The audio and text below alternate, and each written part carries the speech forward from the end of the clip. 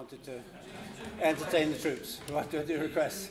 You mean like go? Or, uh, no. Do you? Not really, no. Would you if I asked nicely? I can't play. Does that matter? I can see, I can You're going to see something quite unusual in a couple of minutes. So what, what can I do? What, I don't know why I'm here. Well, well, you're going to talk to us, but what are you going to play for us? Well- That's the question. Well, where am I going to be sitting in the end? You, you're Okay, going to be here. well, if I can just. Hey, good afternoon. I, I can't see very many people. Um, why I, brought this? Um, I, I did a, uh, an Abertoir uh, convention in Aberystwyth. Um, and it was an hour long, and I thought I had to entertain the troops somehow, and so I thought I ought to include this because at one time I was a singist or a singer, and I had a recording contract with Decca. And I, and I got this contract with Decca because I wrote a song about the Beatles. Um, and it was an anti Beatles song. And I, I hated the Beatles because at Stratford on Avon, I was with the Royal Shakespeare Company. The whole theatre was full of Beatles sounds. Uh, yeah, yeah, yeah, yeah, yeah. Day and night because of two people. One was an actor called John Normington, and the other was a now very, very famous lady called Dame Penelope Keith. Non stop Beatles, and I hated them. With a vengeance. So I wrote a song called What on Earth Are Beatles? I, I won't sing that. And I was signed up by Decca because Decca, as you probably know, had turned them down. And I was signed up by Dick Rowe, who's famous or infamous for turning the Beatles down. Now, the fact that he signed up Bowie and the Stones and Tom Jones and lots of other people seems to be passed by, but he turned down the Beatles. And to sort of get back at them, they're going to have me sing this song, What on Earth Are Beatles? Um, and then just before they were going to release it, the Beatles started suing people. And so this was never released, even though I'd recorded it. And they put out a pop song instead called Down by the River, and another song called Come On Home. And if you look either of them up on the internet, you can download them for absolutely nothing. Uh, I get nothing, so this is no, I don't have any uh, interest in this whatsoever. Um, but at the same time that I was recording these things, in my music publishers, they played me a little disc. And in those days, there used to be, I I'm sure you're a very young audience, they used to have little cubicles where you can go in and record a song. A song you'd written, a song you sort of sang, and that little disc could lead to fame and fortune because you sent it to a music publisher, they listened to it, they said, You're the next Adam Faith, you're the next Cliff Richard, whatever. They signed you up, they changed your name, you made a record, and you were a millionaire. And he played, when I was in, my music publisher, a disc he'd been sent by two young men who, I'm afraid to say, did actually come from Essex. Um, and they'd recorded this song with no musical accompaniment together in this little thing. And it was the worst thing you ever heard in your life. And that, without any possible chance of them ever hitting the top and being on the hit parade or even making a record. So that's one part. The other part is that in those days, as you probably know, dances changed every week. And I could never keep up. And I was always, whether it was one dance behind, I was probably three dances behind. So this, this guitar has probably gone out of tune since I came in. So I thought I'd start. When I was at Aberystwyth, I had to say I made the audience sing another song I'd written called All I Want for Christmas is a Dinosaur. so you're getting off lightly with this. I'm, I'm not asking you to sing it, and you'll understand why as we go through it. But I just, just thought to get everyone in the right sort of mood, I'd try and sing this song, okay? It's called Me and My Mates.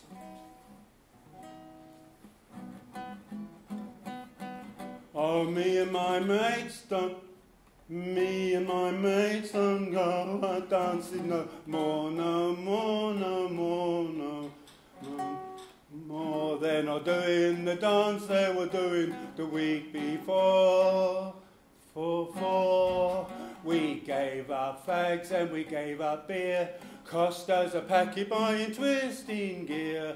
Now we find we're a dance behind and the fucking twist went out last year. Yeah. Yeah. Fuck. me, me and my mates just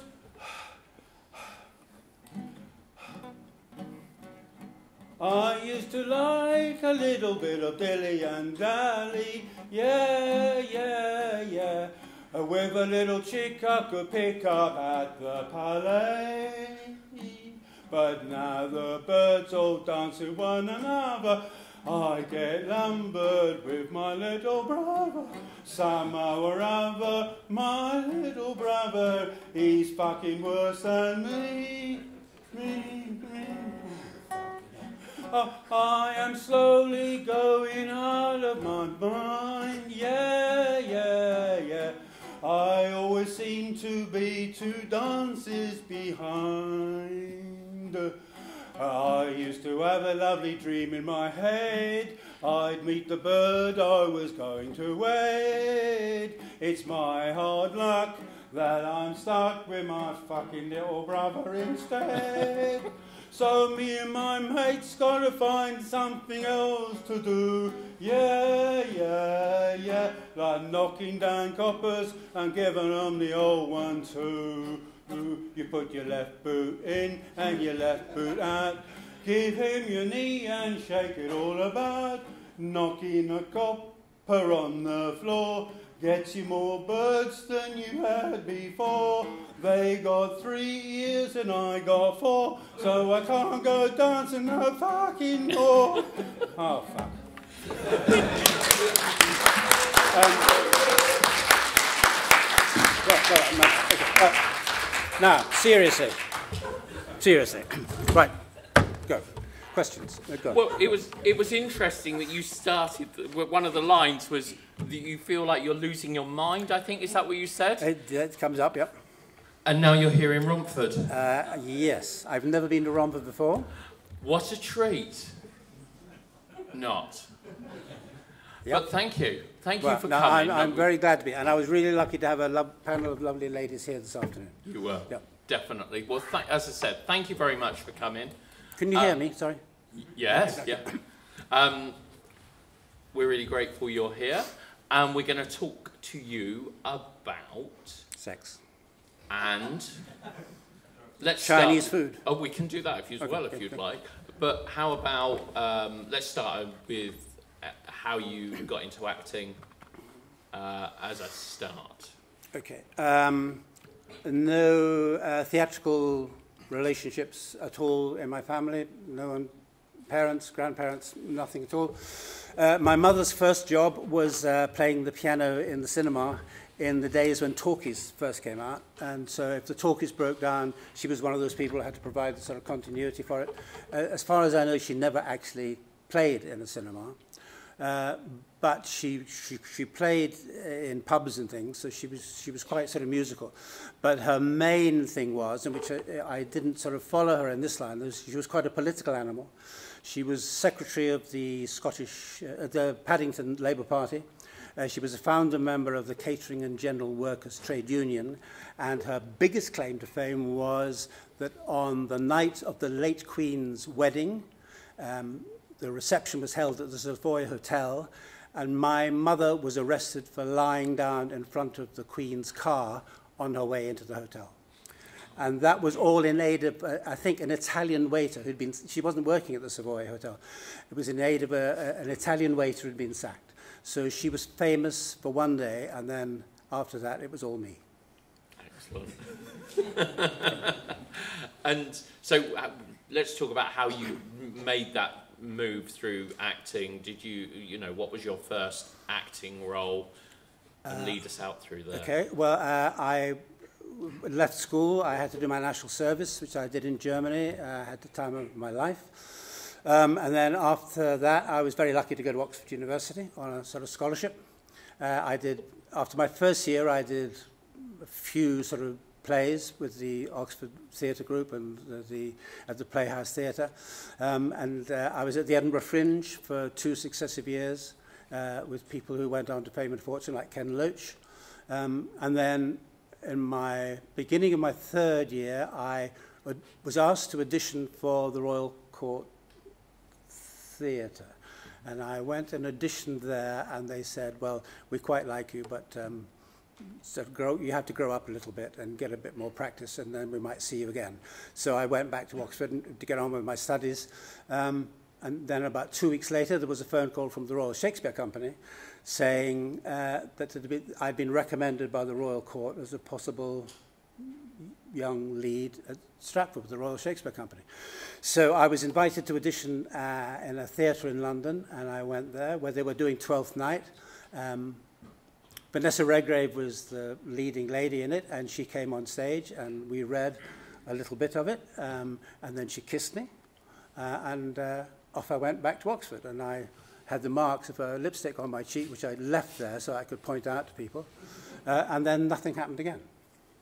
And then two weeks later, I got a, through one of the people at Oxford, I got a, another message saying that the Royal Shakespeare want, Company wanted to sign me up as a long-term artiste, uh, that they would guarantee me four years' work and pay me every week for four years, and that I would take over one of the leading parts at Stratford. And I still had two terms to do at Oxford. So I well, I can't say I worked my way through. Um, I did my sort of two years. I sat my last exam on a Wednesday morning. I got on my motorbike. I drove to Stratford, and I was rehearsing that same afternoon with Vanessa Redgrave on stage at Stratford.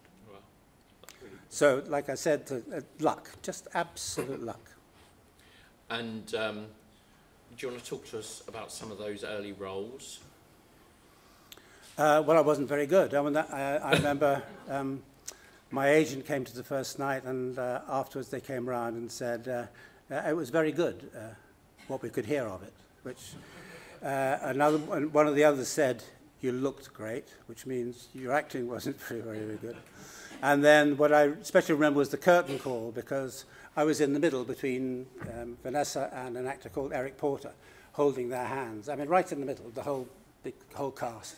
And when it came to the final curtain call uh, Vanessa pulled me forward, which I thought was really sweet of her, and Eric pulled me back. so I, I didn't get my solo payment. But I say I did, I did three years there. I, uh, I, I didn't honestly do I started at the top and I worked my way very, very quickly to the bottom. Um, and I couldn't understand what it was. I mean, I knew I wasn't doing the things that I was capable of. I mean, I've always had a, a big, big voice which I could use, and I, I just sort of couldn't use it there.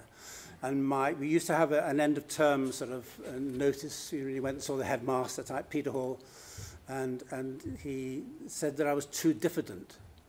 Um, now, do you all know what diffident means? No. Well, well, I mean, I thought it meant difficult, and I was oh. really, I, I got stroppy because I wasn't difficult. I loved being at Stratford. It was like being at university again, except I was being paid and surrounded by the most beautiful people in the world. And I thought, I'm not difficult, so it, it, upset me. Whereas, I mean, diffident means being, backward at coming forward, too shy. And I was obviously not investing enough of myself in the parts I was playing. So I left Stra Stratford rather under a cloud, did some tellies and things, and then I did David Hare's first play.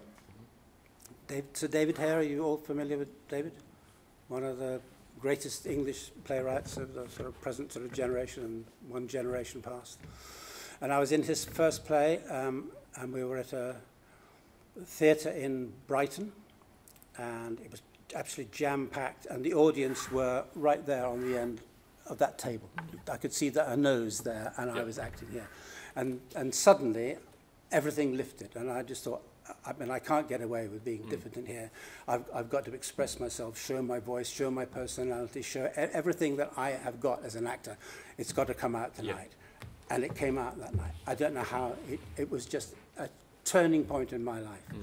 And the bizarre thing is, if, um, David wrote a, um, a little memoir, came out a couple of years ago, I've, and I've only just read it, but he says he could never make up his mind whether he thought he was good enough as a writer to be a writer as a profession. I think he was offered a, a director's thing at the, with the BBC, but he didn't think he was good enough until one night, a Saturday night in Brighton, everything changed. And what he heard on stage made him realize that what he was writing was good and deserved to be seen by lots of people and appreciated. And it was the same night that I lifted things off the page. And I'd say it changed my acting career completely. Yeah. That I was, I was totally unafraid to expose myself in every sort of possible way, in any sort of possible part. Mm. Uh, and that's remained the same until I sort of stopped doing it. But that one single night in Brighton. I saw uh, an interview with you on YouTube, and it said that you were the most proud of your theatrical work. Um, why, when, how did the transition happen from you being a theatre actor to a television actor initially? Uh, Is it well, I- something you what what I should elaborate on is is it something that you sought out, or was it something that sort of came to you? No. When, I became an actor, I thought I'm going to be doing. I mean, remember, this is way back in '62. '62, I, '62, yeah. Uh, I joined the Royal Shakespeare Company. In, in, in those days, um, TV films had nothing to do with it. I thought I was going to be a professional actor, that I would be doing classical roles for the rest of my life. I might do an occasional pantomime, but, but that was it. Television films never came into it at all. And then while I was at Stratford, I was offered the lead in Kidnapped by the B- BBC Scotland. They were doing a serial, which I couldn't do because I was under contract to Stratford. And another actor with almost the same name, Ian Cullen, played that part. Uh, and then I, I left the, the Royal Shakespeare Company and the parts were offered to me. I did uh, a thing um, about um, the customs officers, um, which is no one can find a recording of. Um, and then I was asked to do another Scottish serial called Flight of the Heron, um, which B, uh, STV were doing in Scotland. And when the girls were talking about sort of money this, this afternoon, STV, this is way back in 64, 5, they did um, six episodes uh, of this story, The Flight of the Heron.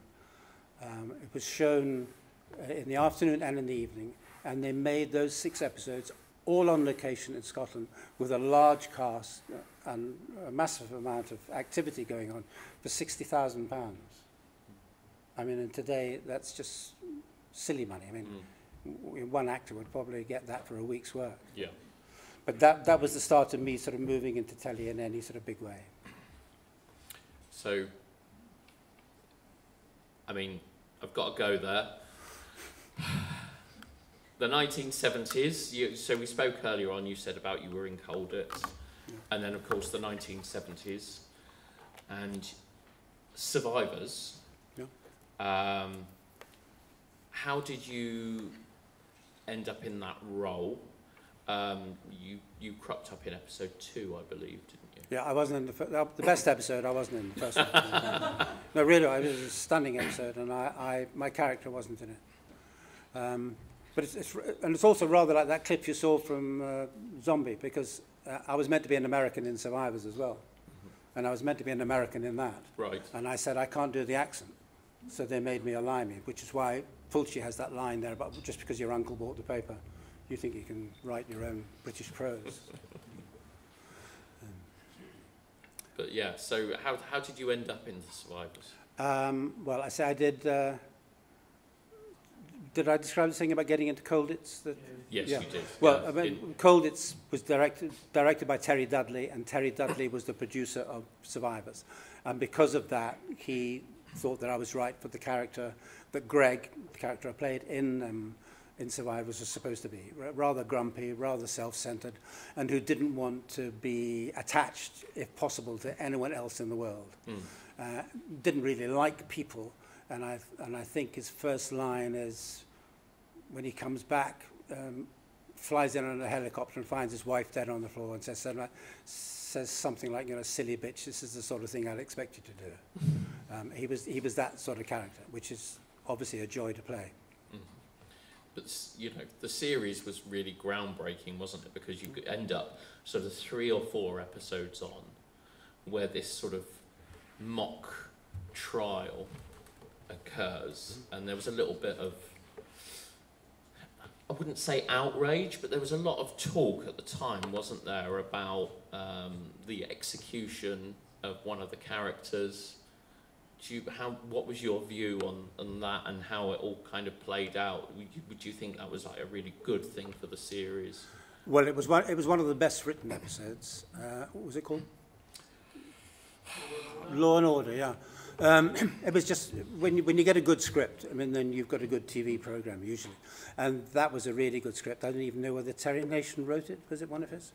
Um, but it was just one of those things that was sort of easy to do, and you know, people were taking sides all the way through it, so you knew that the audience would be taking sides when they were watching it.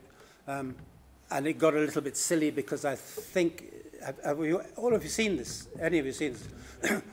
Because it turned out she was killed with an arrow. Now, I mean, people don't get stabbed to death with an arrow. And you might, you know, like Harold might get one through the eye at the Battle of Hastings, but you don't have an arrow and stab people. And I mm. think that was what was supposed to be the, the sort of weapon that sort of did it. Um, but beside, uh, apart from that, I mean, it was, it was a lovely sort of argumentative thing.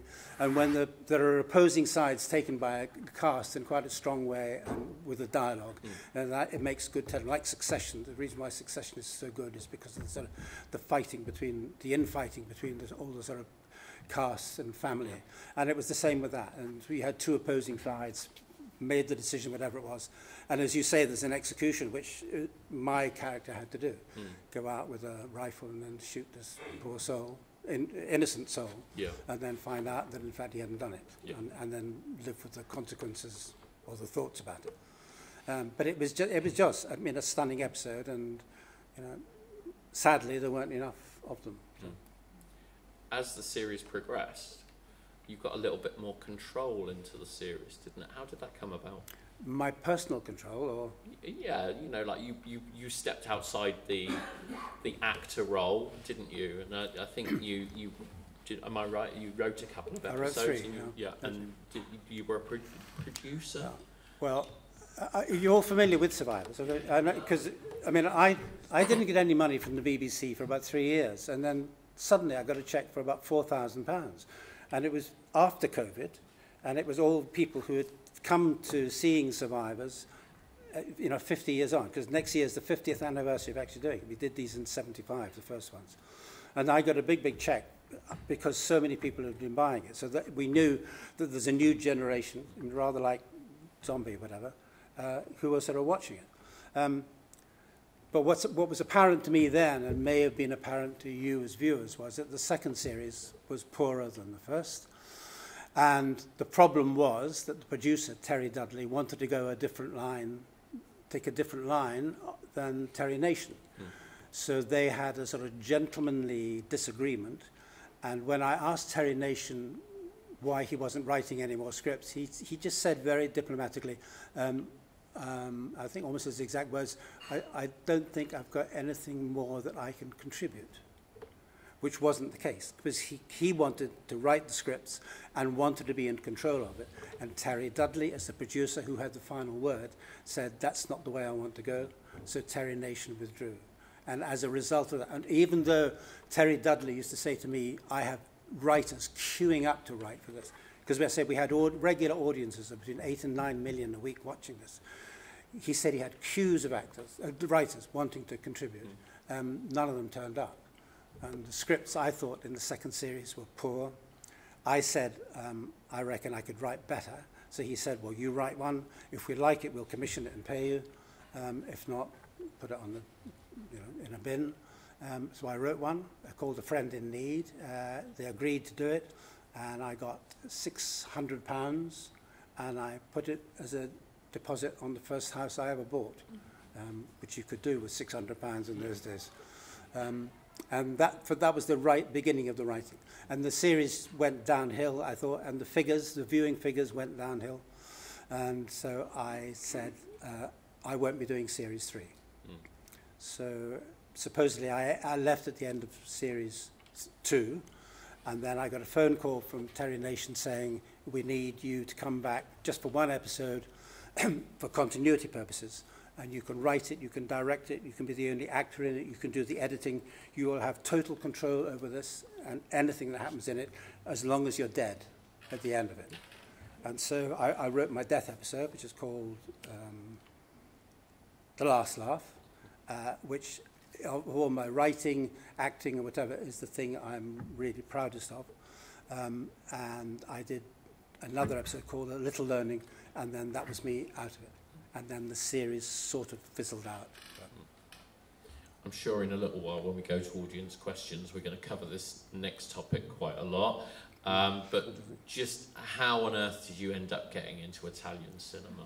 To have, have sort of three consecutive films? Uh, I was I was in rep in Exeter uh, doing a play. I was on my own. I, I was in terrible digs, which were damp and dingy. I was not getting any money. The audiences weren't very good. Reviews were reasonable. No friends were going to come down. Um, no one could afford to come down. And then suddenly, out of the blue, there was a phone call from my agent saying there's an Italian film company called Variety Films, and uh, they want you to be in one of their movies. And uh, it's a leading role, and there are locations in New York, uh, the Caribbean, and Rome. Uh, they're offering you uh, a thousand pounds a week for the film. There's a seven-week um, timetable. So that's £7,000 and they'll pay you a $1,000 a week living allowance and they've agreed that they will fly your girlfriend, partner, whatever, first class to whichever of the three locations you would like to take them to. Uh, but they'd like an answer tomorrow. Now, it was a very difficult decision to make. um, no, no, I mean, I, I, I sort of jumped at it. And, oh, and then they said, oh, it's, it's got zombies in it. And Zombies to me was, I thought it was a Bob Hope film. It may, may have been um, another couple of American comics. Bud Abbott and Lou Costello, I think, did a Mm, zombie. yes. So I, th- I thought it was that sort of sort of zombies set in sort of Jamaica or whatever. Uh, and then it turned out to be the zombie flesh eaters that, you know, you see bits off behind me. and then you go from one straight into another. They, uh, it's your problem in, in those Italian films. They they pre-sell them, so they more or less cover their costs before mm. they went on. So ev everything else was a profit, and they they knew or thought at that time that they were going to do reasonably well. This, of course, was before the video nasty stuff came in, um, and so I think within a month of doing finishing that, I was offered uh, the next one, Cannibal, Zombie Holocaust? Yes. Zombie Holocaust. Uh, sorry, it's got about so many titles, I forget them. I could have said Dr. Dr. Butcher. Butcher. And yeah. then before I even finished that one, I was offered contamination. Right. Uh, and then they saw through me. Uh, and, and, I, and I have to say the main worry was the fact that I was bald. Um, when, I, when, I, when I arrived uh, on set in New York, that for that very first, for, for doing um, zombie uh, flesh eaters, uh, two producers were there, Ugo Tucci and, and uh, Fabrizio De Angelis. And they were quite small men. And then they were, they were suddenly standing on tiptoe, looking at the top of my head, back of my head. And, it, and it, you, you see what it's like now, I mean, it, it was like that then. I mean, they were terrified, mortified that they could have a leading man in this film who was bald. Um, and I mean, they, got rid, they were gesticulating and panicking almost what to do. And what they decided to try and do in it was to, to shoot as much from below as possible so that you didn't see the top of my head. Although occasionally, even in that, that scene you just saw, the back of my head appears and occasionally. Um, so that, that was my launch straight into it. Um, and I, I got a wig for the second film. And if you look at that carefully, you'll see that it nearly falls off several times. It flips over. I mean, it's, no one else notices it. I notice it every time it comes, sort of comes up. And then I managed to lose it in, in New York before we came back. So that caused trouble. And then I had, a, for the contamination one, I had a really nice wig that stayed on all the way through. Okay. When you when you when you were shooting them, you know, what were your thoughts on what you were making at that moment in time? Money. Yeah. No, I mean, I, I, honestly, they were fun to do. When, when you do these films, they, they treat you like a prince. And but, but I've often said it, the difference between um, you know, making something in Britain and making something there is was really the, the crew because there they I mean they worked like slaves. I mean all hours of the day. They didn't have break. Well, they had a break where they had one of those peculiar little Italian coffees which disappeared in two seconds. They didn't have breaks. They just went on and on. and Mm. And if they had to change a scene or change a lighting, it, was it was done in a couple of minutes. It would take half an hour and an hour because of union rules and all the rest in Britain. So they moved through, they had to for money reasons, but they moved through all these things so quickly. Uh, And the fact is, they didn't just do it quickly, they did it brilliantly because they put heart and soul into it and all the craft and professionalism that they sort of had. So all these films, I mean, however stupid and silly, they look absolutely stunning. And probably the only, the special effects are stunning. The only things I, I don't think stunning are the sort of personal makeups because they want to make you up to look like an Italian film star. Yeah. And if you're a Glaswegian, you, it's not quite what you expect to do. So in England, I'd do a TV program, and they, if I was lucky, I'd spend 10 minutes in the makeup chair. And in Italy, I spent between half an hour and an hour every day in the makeup. I'm but being over made up. Of theatre, television, or cinema, what, in your opinion, is your proudest moment? There are several, I mean, that I've done. The, the, I'm not proud in that way of anything I've done other than Colditz uh, on, in TV. Uh, I'm proud of, uh, you won't uh, believe it from the singing you heard earlier, uh, some of the music I've written, um, one of which was hugely popular and successful in France during the student rebellion, way, way, way back in the late 60s. Uh, they're all classical parts. Uh, a, Macbeth, which is an easy part for me to play. Dr. Faustus, which is a very difficult part to play, which I love doing. Antony and Antony and Cleopatra, which I did with Kate O'Mara, who was an absolutely stunning stage actress, an underrated stage actress, sadly no longer with us. Uh, and Equus. Uh, I played the psychiatrist in Equus, and I love doing it, and it's a gift of a part to an actor. And, and I say it, it caused the, the, the, the happiest and the unhappiest day of my acting career. Mm because my agent said, um, I've had a phone call from Peter Hall, and uh, he wants to know if you would like to take over from Anthony Hopkins on Broadway, playing the part of the psychiatrist. It's only for six weeks or whatever, because uh, Hopkins was uh, had a throat infection and was ill. Uh, so you'll only be there, um, but would you like to do it? And then I said, what's the bad news? And she said, the bad news is that the BBC, you're under contract to the BBC and they won't release you. Now, that, I you go to conventions and I tell that so because it's absolutely true. And I just, to go to Broadway in a part like that would have been absolutely amazing. Mm. It was played by a sort of second-rate nobody called Richard Burton eventually. So he, he had his eyes on that part, as any actor sort of would. But the, the other bizarre thing, and it's typical, I mean, you're probably too young to sort of know Peter Hall. The bizarre thing is about how Peter, Paul, Peter Hall went about it because I was at a convention in Birmingham. and I was sitting in a bar with Michael Jayston and Cosmo, whatever he's called, James Cosmo. And suddenly, just as I've said to you, I heard Michael Jayston said, well, do you know what was the happiest and happiest day of my life? And I thought, I've heard that before. He said, well, my agent rang, rang me up and said, Peter Hall wants to know if you'd like to take over the part of the psychiatrist in Equus on Broadway and went on with Anthony Hopkins is ill. You were there six weeks. It was exactly the same story. And then he finished the story by saying that his agent then said, uh, but you can't do it because you're under contract to the BBC and they won't release you. Isn't that a bit bizarre thing? But I think, he, I think he offered it to about 12 different people, which is what he used to do at Stratford. You'd suddenly, you'd get there thinking you're playing a part and you found that someone else is sort of playing it. Uh, having said that, he was the most, most brilliant man of the theatre I've ever met and an absolute charmer. charmer. Amazing. Thank you very much for that. Thank you. Have we got some questions from the audience? Don't be shy. Um, we've got one right over here.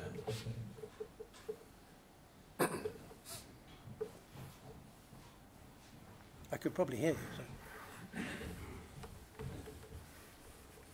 ¿Dónde es el cuarto de baño? Um, what was it like working with Luigi Cozzi as opposed to Fulci contamination? Um, well, as those of you who are here this afternoon, I mean, he was the sweetest man possible. I mean, I mean, an absolute sort of gent, quiet. I don't think I, I had any directions as to what to do. He just got on with it. It was his baby. He'd written it. Um, and I say he had a huge success with Star Crash that uh, Caroline had been in. And I've, I've, I mean, he actually couldn't have been nicer. And he was, when I did this awful song, uh, he, he was there at Abertoir with me, and we had a lovely sort of Q&A, uh, and I found out amazing things about the film, which I sort of didn't know about. But what, what he didn't know, because I only found it in a, in a letter, um, I mean, a couple of years ago that I'd written from Barranquilla where we were on location. Uh, and this, this is just a, an example of how some Italian producers get on with their work. Um, I'd written home that um, in one scene, in front of the entire crew, the whole cast, the producer, um, Mancini, had said to Luigi, the sweetest man in the world, if you are not more positive, I'm going to break your legs. Now, I mean, I don't know how many of your employers say that to you when you're doing your sort of jobs. You know, I've, I've been threatened with death by three people making films. But for a producer to say, you know, I mean, but he said it with conviction. I mean, it, it wasn't, well, it was a sort of joke in a way. But he actually meant what he said, that if he didn't pull his finger out and get on with it and save him money, he was in trouble. Well, unbelievable. It was similar to what you said to me before I agreed to come here. Have we got any other questions out there? Can I ask who the other two people who threatened to... Oh, no, he didn't threaten to kill me. the three people, yeah. And, and the, the other silly thing is that two of them used almost exactly the same phrases. Um, the first one was in, uh, what did I do first? Cromwell. Uh, I, I played a German officer. I've got one scene with Richard Burton, and, and I didn't know, but Clint Eastwood, I think, was in the same scene. Um, and we had the scene to do, and there was a stuntman who was in the scene as a German soldier. And if he wasn't in the scene, he was going to have to do, there were some really dangerous stunts in uh, Where Eagles There. Uh, am I, that the first one? Yeah, Where Eagles yeah. There first yeah. was the first one. There's some really dangerous sort of stunts um, which risk life and limb for sort of stuntmen. And this lucky stuntman was doing, playing a part in the film proper, so he didn't have to go and do the stunt. So he thought he was getting off lightly. And we finished early. Um, and my girlfriend was then flying out, and I was going to meet her at the airport. So I said, uh, am I clear? Yeah, yeah, you're finished for the day, you can go. So I went up to the summit, and I said, it's okay, clear, we can go. And he said, you effing see, I'm going to effing kill you. now, I mean, you, I mean, I was an innocent, total innocent, and I mean, I really found it frightening because he was a strong guy, did amazing stunts, and I'd been told that in the past he'd had a disagreement with one, a fellow stuntman who was doing a flying act on, an, on a, with a sort of one of those sort of rescue ropes, and he'd cut the rope to harm this, this sort of guy. Anyway, that, that was what the story was. It may not have been true. The, the second one was on Cromwell. Um, Richard Harris played the lead. Uh, Richard was a wonderful storyteller, but another brilliant storyteller was his sort of bodyguard. Uh, and, his, and his bodyguard, his name I can't remember, but he'd been the getaway driver for a criminal called Jack Spot. That ring any bells? A Soho gangster? Anyway, he, he'd been his getaway driver. I mean, this great big burly thug. And he very proudly would sort of open his shirt, and there was a scar right the way across his belly where someone had taken a knife and just ripped it up, ripped it through. And he was a terrifying thing. But he was a wonderful storyteller, like Richard, and he was going on telling his story, and we were all laughing. And everyone said, well, what about, what about? Um, and he'd come up with the story about that film. And then just joining in, and out of total innocence, I said, uh, uh, what happened on Hawaii? And there was a silence, and he, he said the same, you effing see, I'm going to effing kill you. and I, I have, to this day, I've got no idea what, what happened on Hawaii. and, it worried, and the, the other one, of course, I mean, I t- I've told before, is in, was in Zombie Flesh Eaters. But part of the thing when I signed my, the, the, the, deal that made me do it was I had a trailer, you know, a trailer for me and me alone. And th- this is what big stars have. And big stars fight over how big they want to be. I want to be bigger than Tom Cruise or Affleck or whatever. Mm-hmm. Or, and I want to be further away from the loos. I want to be closer to the food, closer to civilization. It's got to have this, that, and the other. But to have a trailer means you've mm. made it and arrived. Mm.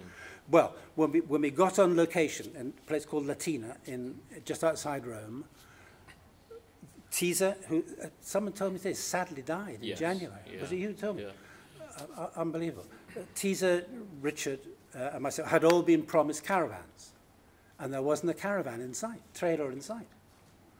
And we all looked at one another, and I mean, I couldn't do anything because I was too sort of feeble and didn't have any sort of power over any of these situations. And then Richard said very, very simply, uh, in Italian, no trailer, no trailer, difficult to work tomorrow. That's all he said. Yeah. And very gently. Within an hour, there was a trailer there. And within a second, Richard moved into it. Yeah. And the Tisa and I had no trailer, so we did the whatever it was, three weeks location work there with no trailer. But I knew that when that finished, when he, he his part finished, he was going to go back to the UK, and I could take his trailer. Yep. So we finished his shooting. He left, and I thought the trailer's mine, and they took the bloody thing away.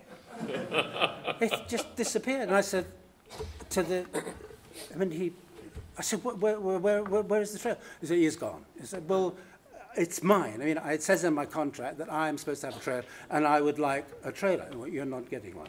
I said, well, why am I not getting one? Because we don't want to give it to you. It's gone to Rome. And I said, right, well, I am going to Rome. How are you going to get there? I'm going to walk. It's 50 miles. I'm going to walk. and that, that's when he, this is absolutely good, he, he, he went, me, Sicilian. You, you no leave Italy alive. And he, I mean, I don't know if he's an actor or whatever, like these other two guys. I mean, it was really it said in a very vicious, convincing. I mean, it convinced me. Mm. I mean, I got no, and, and I, but I stuck my ground, and, and, and I got through that, and again, almost immediately, the caravan appeared mysteriously.